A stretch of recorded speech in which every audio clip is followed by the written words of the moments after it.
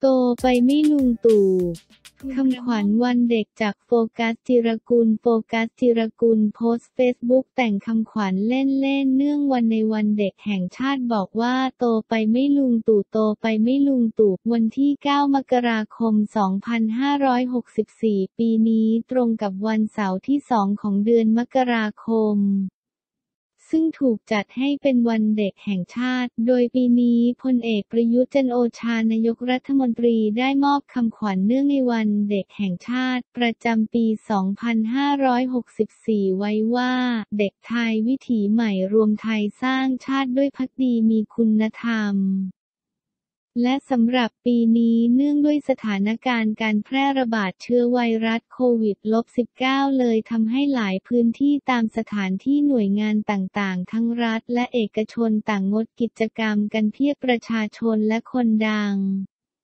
ก็ต่างร่วมสุขสันต์วันเด็กผ่านโลกออนไลน์ พร้อมโพสต์ภาพวัยเด็กอวดกันอย่างน่ารักรวมไปถึงร่วมแต่งคำขวัญวันเด็กฉบับใหม่ๆ มีทั้งดีๆก็มีฮาๆมากมาย เช่นเดียวกับนักแสดงสาวโฟกัสจิรกุล ก็ขอร่วมแต่งคำขวัญวันเด็กต้อนรับปี 2564 ด้วยประโยคที่ว่าคำขวัญวันเด็กของหนู โตไปไม่ลุงตู่ งานนี้ถูกอกถูกใจชาวเน็ตจำนวนมาก มีคนเข้ามากดไลค์กดแชร์แสดงความคิดเห็นกันเพียบ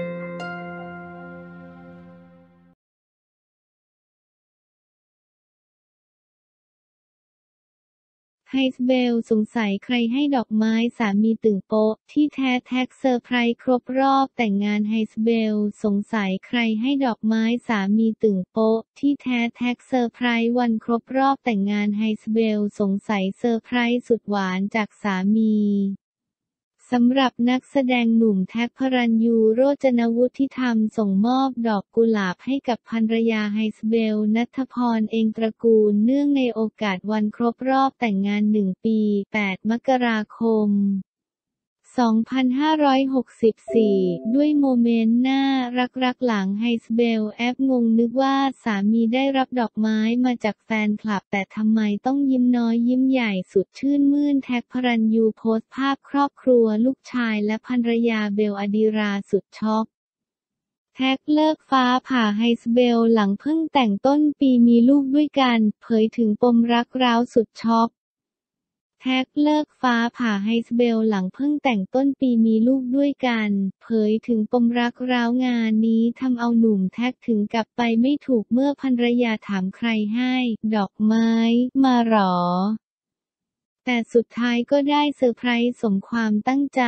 และได้ออกมาโพสต์รูปภาพพร้อมแคปชั่น กล่าวว่า ผู้ชายแบบผมดอกเดียวพอ อยากได้อีกดอกไปรอบนเตียง เครื่องหมายสี่เหลี่ยม กูจะเล่นเกมพับโมบายกวนจริงๆจริงๆคนจะโดดร่มโอ้เยย ในขณะเดียวกันไฮโซเบลก็ได้โพสต์ภาพความประทับใจเนื่องในวันครบรอบแต่งงาน กล่าวว่า วันนี้อยู่ดีๆ ก็เดินถือกุหลาบดอกหนึ่งมายื่นให้แบบงงๆไอเราก็นึกว่าไปได้จากเด็กขายมาลัยที่สี่แยกดินแดงมาหรือ ไม่ก็ได้มาจากจาก FC จากกองถ่ายมาแน่ๆ ยังถามไปงงๆว่า ใครให้มาเหรอ จนนางบอกว่า เอาอุตสาสั่งมาให้ วันนี้วันแต่งงานเราไง ไรอะลืม อ้อเออจริงด้วยเยย ขอบคุณค่ะระบบดอกเดียวก็รักแหละถึงกางเกงในม้วนก็รัก happy หนึ่ง st anniversary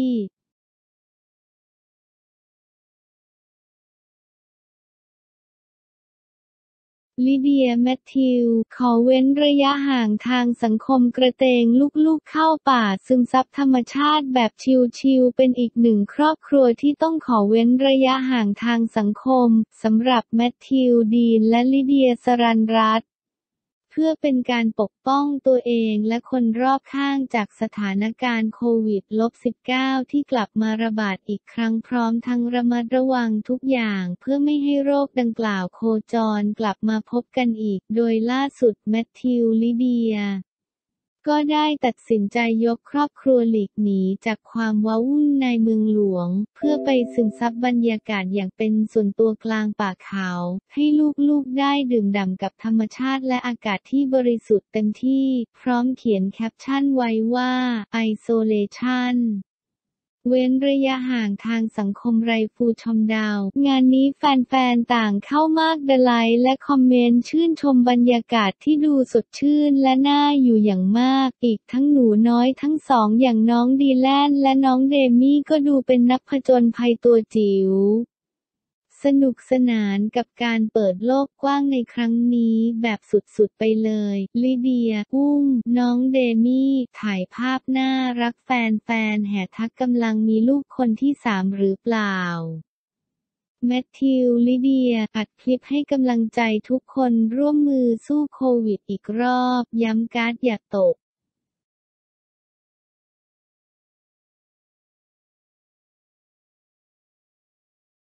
พลอยเคนพูดจริงทำจริงแจกโบนัสกว่า 3 ล้านเงินสดรถหรูพนักงานกอดขอบคุณทั้งน้ำตาพูดจริงทำจริง เพราะเคยให้คำสัญญาไว้เมื่อนานมาแล้วถึงเรื่องการแจกโบนัสก้อนใหญ่สำหรับพนักงานที่ตั้งอกตั้งใจทำงาน และอยู่ด้วยกันมานานกว่า 10 ปีสำหรับครอบครัวของคุณพ่อคุณแม่ลูกดกพลอยชิดจันหุง และเคนหุงโดยเรื่องราวดังกล่าวได้ถูกเผยแพร่ผ่านรายการมอมชิดจังบนช่อง YouTube ของครอบครัวภายใต้ชื่อตอนว่า EP 0.185 แจกโบนัสพนักงานกว่า 3 ล้านบาท ซึ่งในเทปนี้ทั้งพลอยและเคนได้อธิบายว่าจะมีพนักงานจำนวน 3 คนที่ได้รับโบนัสก้อนดังกล่าวเป็นเงื่อสดจำนวน 5 0 0แสนบาท แต่จะมีอีกคนหนึ่งที่พิเศษกว่าคนอื่นตรงที่ เนื่องจากกำลังจะต้องเกษียณงานออกไปด้วยอายุที่มากขึ้น ทั้งคู่จึงได้จัดปาร์ตี้เลี้ยงส่งเป็นของขวัญเพิ่มเติมให้ด้วย ขณะที่พนักงานอีกสองคนที่อยู่ด้วยกันมานานและช่วยบริษัทพัฒนางานมาอย่างเต็มที่ พลอยเคน ก็ไม่ลืมเช่นกันที่จะมอบของขวัญให้เป็นกำลังใจ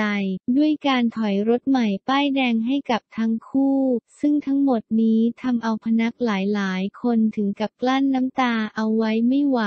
ก่อนที่จะเอ่ยปากขอกอดเจ้านายสุดที่รักแน่น ๆ พร้อมกับพูดคำขอบคุณสำหรับความรักและความเอ็นดูที่มอบให้ โดยเคนฮุงสามีของนักแสดงสาวได้บอกกล่าวกับพนักงานทุกคนด้วยว่า เงินที่มอบให้นั้นตนอยากให้ทุกคนนำไปชำระหนี้สินที่อาจจะเคยมีติดค้างใครไว้ เนื่องจากว่าการไม่มีหนี้นั้นเป็นสิ่งที่ดีที่สุดแล้ว ส่วนทางด้านพลอยชิดจันทร์ก็ได้กล่าวขอบคุณพนักงานทุกคนที่ยังอยู่เคียงข้างทำงานร่วมกันมาอย่างยาวนาน และตั้งใจทำงานกันอย่างเต็มที่จนธุรกิจประสบผลสำเร็จตามเป้าหมายที่ตั้งใจไว้ เรียกได้ว่าเป็นอีกหนึ่งเซอร์ไพรส์ใหญ่จากครอบครัวฮุงที่ทำเอาแฟนๆหลายคนทั้งอิ่มใจทั้งชื่นใจตามไปด้วยเลยชมคลิปรายการมอมคิดจัง EP 0.185 แจกโบนัสพนักงานกว่า 3 ล้านบาท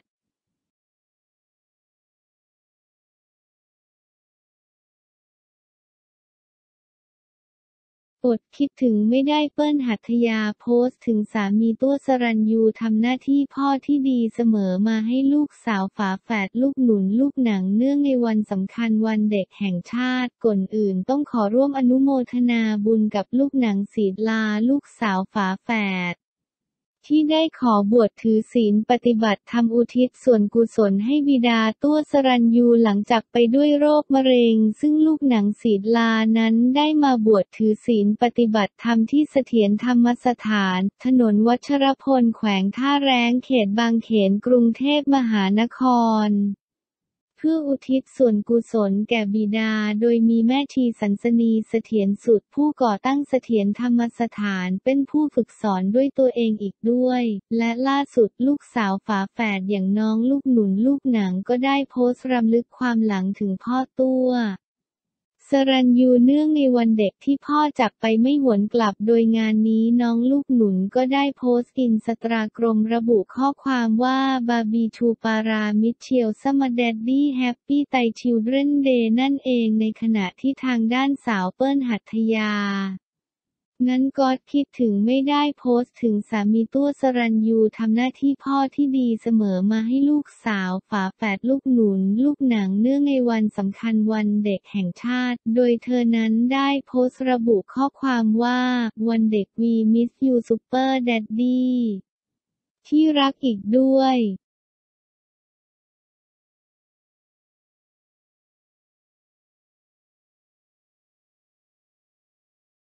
Texas.